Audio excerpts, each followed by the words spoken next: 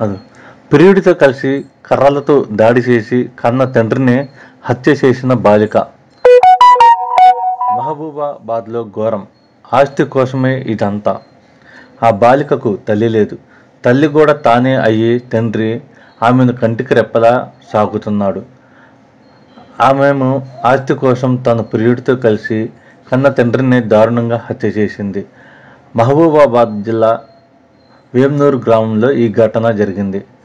Mahabubabad rural CI Ravikumar తెలిపిన వివరాల ప్రకారం గ్రామానికి చెందిన మల్లం వెంకన్న నలభై ఐదు సంవత్సరాలు ఐలమ్మ దంపతులకు పదిహేడేళ్ళ కుమార్తె ఉంది. ఏడాది క్రితం ఐలమ్మ కరోనాతో చనిపోయింది.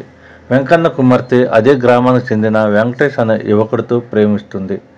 ఈ విషయం తెలిసి తొలుత కుమార్తెను వెంకన్న మందలించిన మేజర్ అయ్యాక వెంకటేష్తోని వివాహం జరిపిస్తానని కూతురికి మాటిచ్చాడు.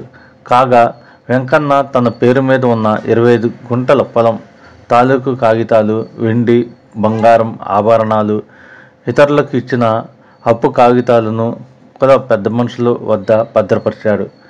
వాటిని తీసుకురావాలంటూ వెంకన్నతో బాలిక తరచూ ఘర్షణ పడుతుంది.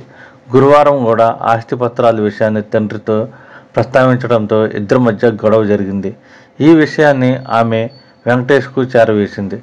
ఇద్దరు కలిసి వెంకన్నను హత్య చేయాలని పథకం పనుకున్నారు అదే రోజు సాయంత్రం ఆమె వెంకటేష్తో కలిసి ఇంట్లో వెంకన్నపై కర్రలతో దాడి చేశారు.